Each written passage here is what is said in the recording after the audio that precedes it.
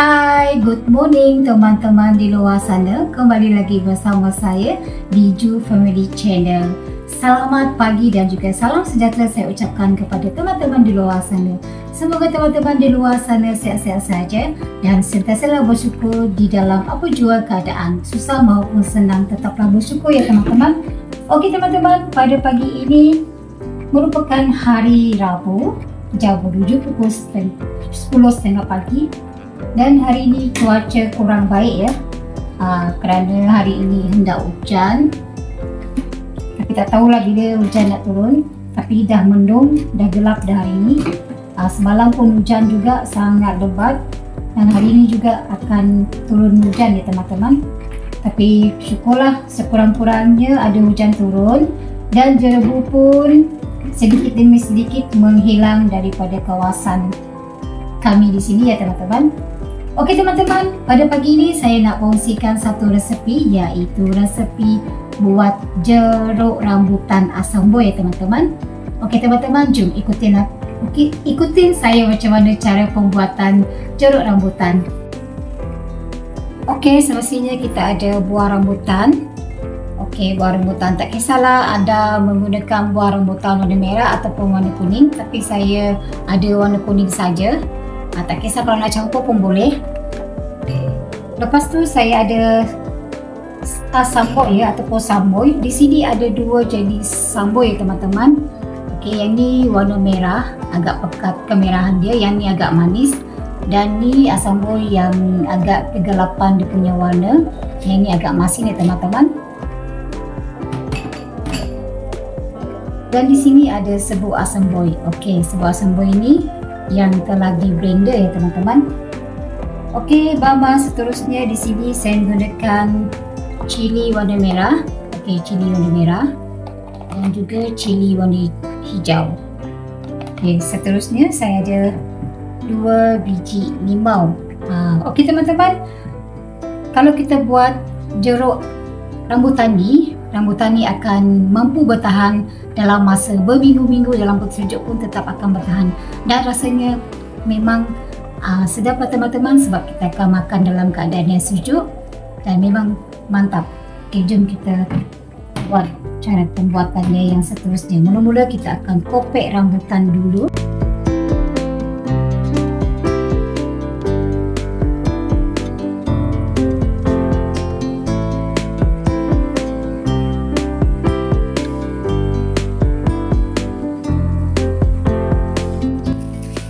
Okey, ini rambutan yang telah dikopek tadi ya teman-teman. Uh, besar-besar isi dia. Okey, senang saja kita letak asam bor ini ke dalam ni. Uh, kita buat macam ni je teman-teman, senang je. Kita letak semua pun tak apa. Tengok ini kat belakang ni memang stok stok asam bor ya teman-teman. Ini sebut asam boy yang ni asam boy yang warna merah yang terang tadi yang ni warna kegelapan. Okey lepas tu kita masukkan asam boy yang agak masin tadi ke dalam ni biar dia ada rasa masam manis dan juga ada masin sikit. Selepas tu kita akan masukkan sebut asam boy. Jadi sebuah asam boy ni dia sebenarnya tadi dia warna apa tu? Warna kelabu ya ataupun warna silver. Uh, tetapi tak tahulah kenapa color dia boleh jadi gelap macam ni. Sebab mungkin dah kita kasih blender tadi campur dia. Jadi dia nampak macam agak gelap-gelap sikit lah teman-teman. Uh, kita buat macam ni je. Yang ni kita jangan letak banyak sangat sebab kita dah ada apa tu dah ada asam boy yang rasa masin tadi. Ok the next kita akan letak cili ya teman-teman. Kita akan letak cili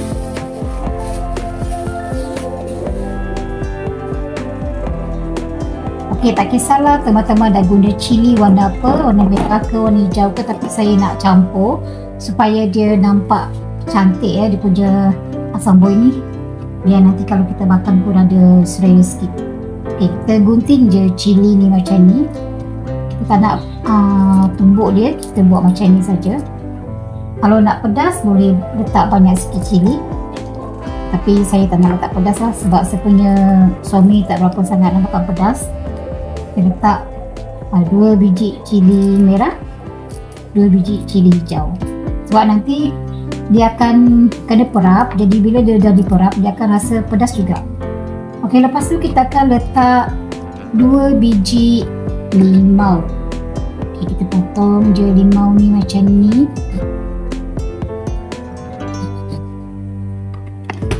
Lepas tu kita perapkan. Ha, Kita akan perapkan macam ni. Hmm, Supaya dia ada rasa Masam-masam manis. Ha, Kita perapkan macam ni oh, So nice Okay, better kita pakai sarung tangan Sebab Senang sikit untuk kita nak tahu-tahu dia teman-teman. Okay teman-teman, kita gaul-gaul dulu supaya dia sebati teman-teman. Supaya bahan-bahan limau dengan dia punya cili asam itu pun cepat kita planting jatuh satu uh, jadi kita gaul-gaul sehingga sebati nanti kalau avocado balik dari sekolah dia akan buka. Sejuk memang ni dulu yang dia akan ambil. Ok teman-teman. Siap sudah? Ringkas dan juga mudah saja untuk dibuat. Oh ya teman-teman. Kalau buah rambutan ni sudah habis teman-teman jangan buang dia punya bahan-bahan seperti asam buih ni ataupun cili dalamnya teman-teman.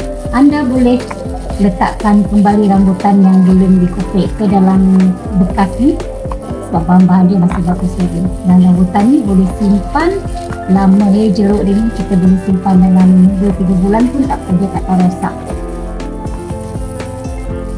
selamat mencuba.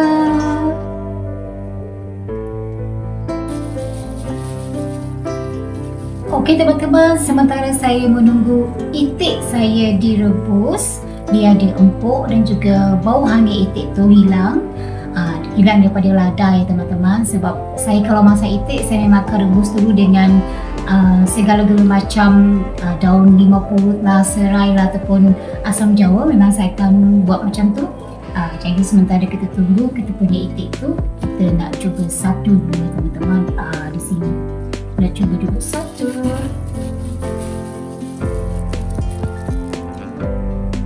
Jangan tinggi ya teman-teman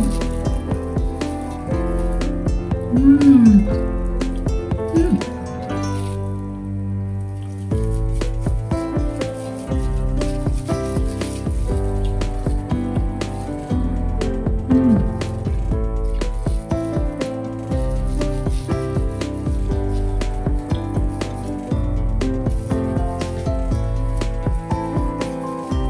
Dulu saya buat bisnes ni teman-teman. Selain daripada rambutan macam ni saya buat uh, jeruk bangga juga. Lepas tu jeruk apple pun saya buat macam ni. Saya campur dengan asam buih saya jual dalam satu bekas RM10 memang laris. Sebelum covid lah. Hmm, selepas covid saya dah tak tak berapa aktif nak menjual sudah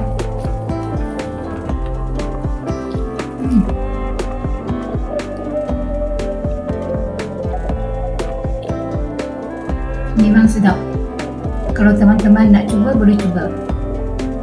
Bagi yang terlampau banyak stok rambutan anda boleh buat seperti ini dan simpan di dalam peti sejuk ataupun buat bisnes macam ni.